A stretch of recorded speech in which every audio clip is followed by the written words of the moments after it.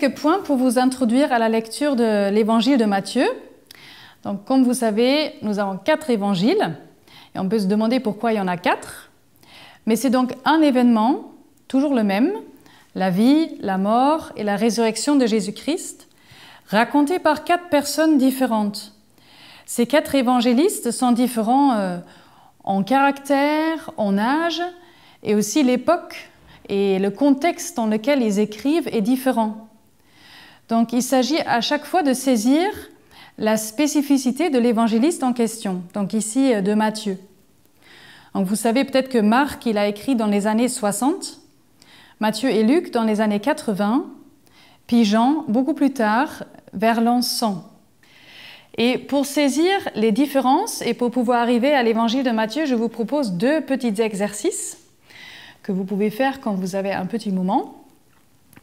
Le premier exercice, ce serait de comparer les débuts des quatre évangiles. Vous allez voir l'évangile de Marc, c'est très très bref, une seule phrase, le premier verset.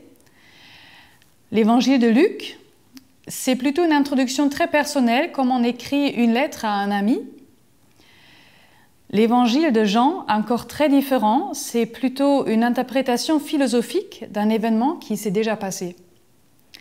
Et puis quand on regarde l'évangile de Matthieu, on trouve une longue généalogie qui est un peu fastidieuse à lire, mais euh, on va voir que c'est très important. Donc vous pouvez comparer un peu ces débuts et essayer d'en tirer une conclusion sur les différents points de vue des évangélistes.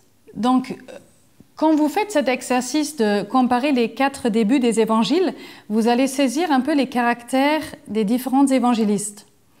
Vous allez par exemple voir que Marc, c'est plutôt quelqu'un qui fait un reportage très bref, objectif de ce qui s'est passé. Il ne s'attarde pas, euh, il ne s'éternise pas, il dit les faits tels qu'ils sont.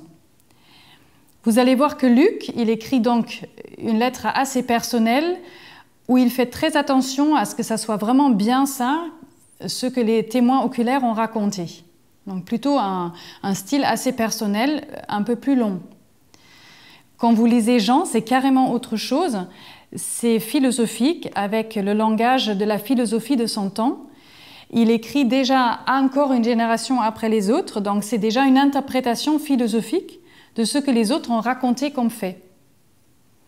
Et Matthieu, donc à part de, ce, début assez étonnant avec la généalogie, je vais y revenir, euh, vous allez voir que dans l'évangile de Matthieu, vous allez trouver cinq grands discours. Matthieu, c'est vraiment un enseignant. Vous n'avez pas cinq grands discours dans les autres évangiles. Donc chez Matthieu, vous avez euh, le sermon sur la montagne, les chapitres 5 à 7. Vous avez le discours de l'envoi des disciples, chapitre 10. Vous avez un discours sur les paraboles du royaume, chapitre 13.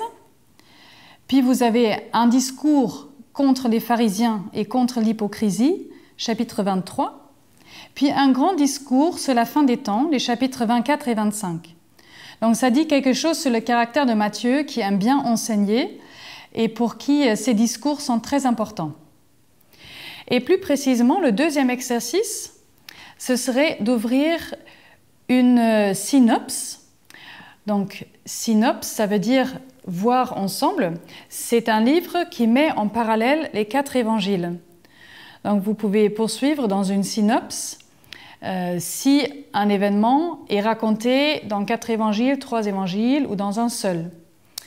Par exemple, le reniement de Pierre est raconté dans les quatre évangiles, tandis que la parabole des dix vierges est raconté uniquement chez Matthieu.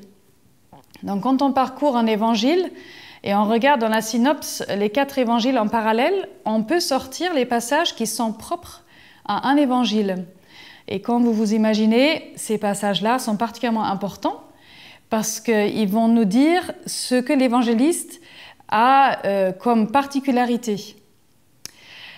Et on va tout de suite commencer avec l'évangile de Matthieu parce qu'on a la chance, parce que les deux premiers chapitres de Matthieu sont ce qu'on appelle un bien propre, uniquement à trouver chez Matthieu. Donc j'espère que vous avez déjà votre évangile ouvert, Matthieu chapitre 1. Vous avez une généalogie. Donc peut-être vous allez tout de suite voir qu'elle existe aussi chez Luc, mais ce n'est pas la même, c'est pas dans le même sens. Donc ici chez Matthieu, ça commence euh, avec Abraham et ça se termine avec Jésus. Chez Luc, c'est dans l'autre sens. Donc il y a uniquement Matthieu qui commence son évangile avec cette généalogie-là. Ensuite, l'annonce à Joseph, racontée uniquement chez Matthieu. La visite des mages, uniquement chez Matthieu. Et puis la fuite en Égypte uniquement en Matthieu. Donc vous avez deux chapitres entiers qui font un peu la porte d'entrée dans l'Évangile et qui sont propres à l'évangéliste Matthieu. Ça vaut donc la peine de, les lire de manière euh, euh, tout attentive pour saisir les objectifs de Matthieu. Donc je l'ai fait pour vous, j'espère que vous allez le faire aussi dans votre lecture. Et quand j'ai lu ces deux premiers chapitres, euh, j'en ai sorti euh, quatre objectifs, quatre points importants chez Matthieu qui traversent tout l'évangile. Le premier objectif chez Matthieu, ça se voit déjà avec cette généalogie, mais ça se poursuit dans l'ensemble de l'évangile, c'est le lien de Matthieu avec l'histoire de l'Ancien Testament, l'histoire du peuple d'Israël. Donc déjà, avec cette généalogie, il lit la venue de Jésus avec toute l'histoire qui a précédé. Jésus n'est pas tombé du ciel de manière inattendue. Au contraire, il a été attendu par un peuple pendant des siècles. Et puis vous allez remarquer une autre chose, au plus tard, euh, quand ça arrive euh, à la fuite en Égypte, c'est que très souvent, Matthieu va faire référence à l'Ancien Testament. Il va dire, selon qu'il est écrit, et va citer l'Ancien Testament. Vous pouvez compter euh, le nombre de fois dans l'Évangile. Euh, Matthieu est le seul à citer l'Ancien Testament euh, autant. Donc cette histoire d'Israël, la préparation de la venue de Jésus est très importante. Un deuxième objectif chez Matthieu, c'est l'accomplissement. C'est un mot à retenir, l'accomplissement. Jésus vient accomplir. Souvent, vous allez trouver ce mot déjà dans ces deux premiers chapitres et puis ensuite dans tout l'évangile. Jésus qui vient accomplir, accomplir l'histoire et surtout accomplir les promesses. Il est le Messie attendu qui vient accomplir. Un troisième point très important, et pour ça il faut vraiment lire la généalogie, il ne faut jamais les sauter parce qu'elles sont très importantes, on sera nous aussi très contents si Dieu ne nous oublie pas et s'il nous nomme un par un. Donc dans cette généalogie, si vous la lisez tranquillement, vous allez remarquer une chose étonnante, c'est la présence, entre autres, de quatre femmes. Il y a donc Tamar, Rahab, Ruth et la femme d'Uri.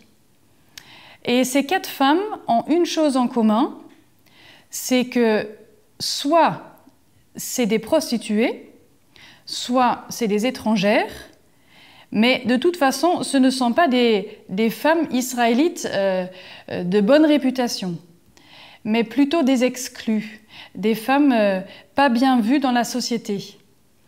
Donc Matthieu va nous dire, dès le départ de son évangile, que la venue de Jésus s'est préparée aussi par ces personnes-là, par des étrangers, par des pécheurs, pas uniquement par des personnes de bonne réputation.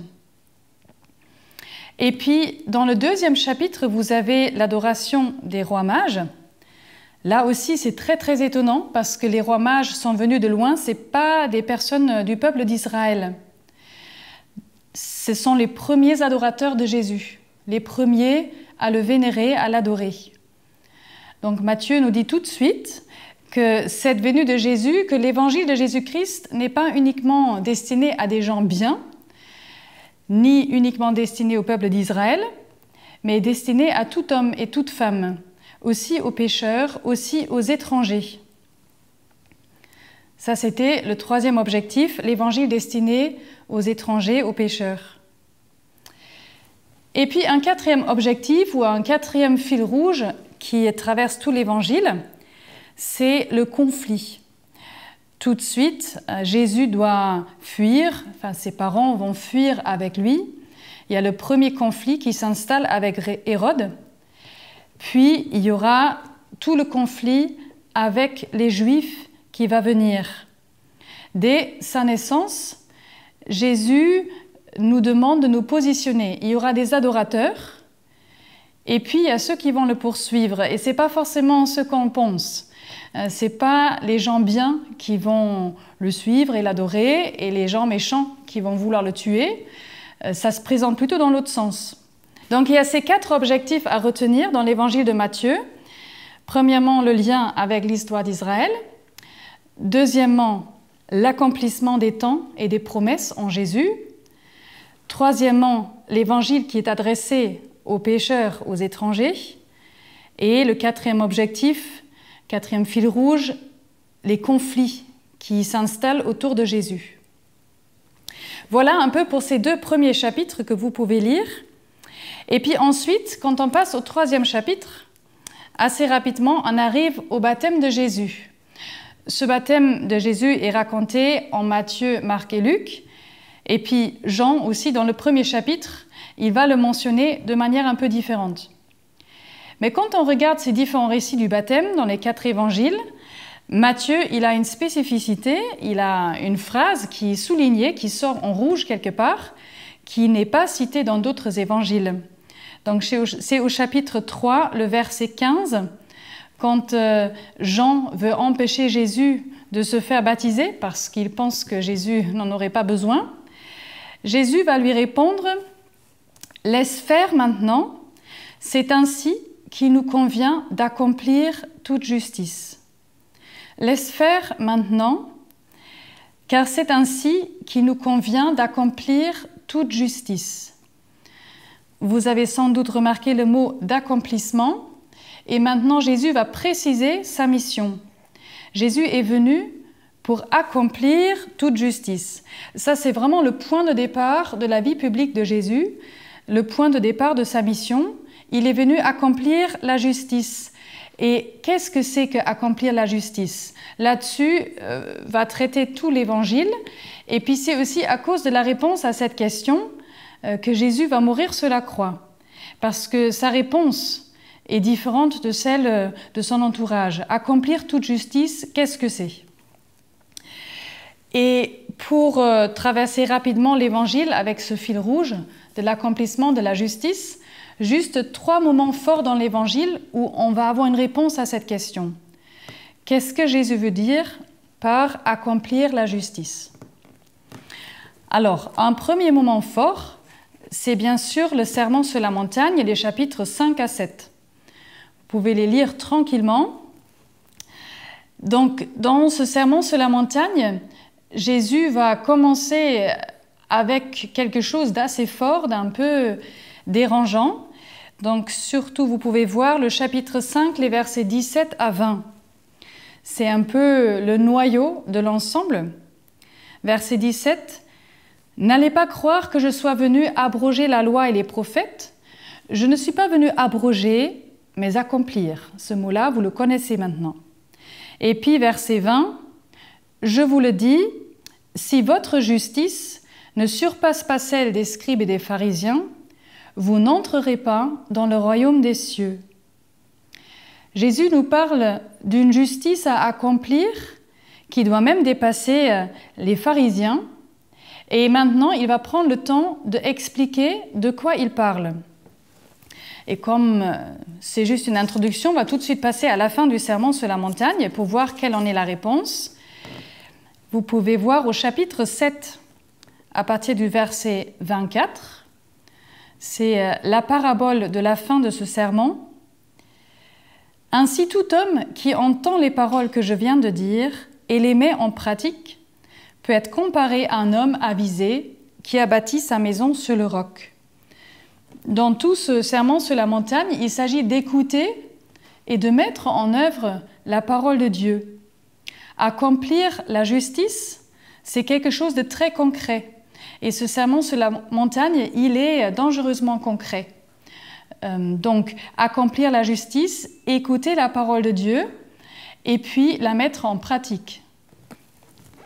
Un deuxième moment fort autour de l'accomplissement de la justice, là, il faudrait qu'on aille plutôt déjà un peu plus loin au chapitre 21, Donc les chapitres 21 à 23 vont expliciter le conflit entre Jésus et les Juifs. Vous pouvez lire chapitre 21, 22, et puis au chapitre 23, c'est un grand, euh, euh, un grand discours de Jésus contre les pharisiens, avec un mot-clé qui est celle de l'hypocrisie. Par exemple, chapitre 23, verset 25. Malheureux êtes-vous, scribes et pharisiens hypocrites, vous qui purifiez l'extérieur de la coupe et du plat, alors que l'intérieur est rempli des produits de la rapine et de l'intempérance. C'est pas très sympa tout ce chapitre, et Jésus, il, il s'oppose vivement à l'hypocrisie. Et on peut voir dans ce chapitre qu'il ne suffit pas d'être bien à l'extérieur, mais qu'apparemment la justice du royaume des cieux demande une purification intérieure, on pourrait aussi dire une conversion. Il ne s'agit pas uniquement de faire du bien à l'extérieur, mais de, se convertir et de vivre cette purification intérieure. Et puis, un troisième moment fort, c'est les deux chapitres qui suivent, les chapitres 24 et 25, avec un grand texte très célèbre autour du jugement dernier. Donc les chapitres 24 et 25 traitent des derniers temps, de la fin du monde, ou le retour du Christ. Et à la fin, chapitre 25, à partir du verset 31, vous avez une parabole célèbre autour du jugement dernier, la séparation entre les brebis.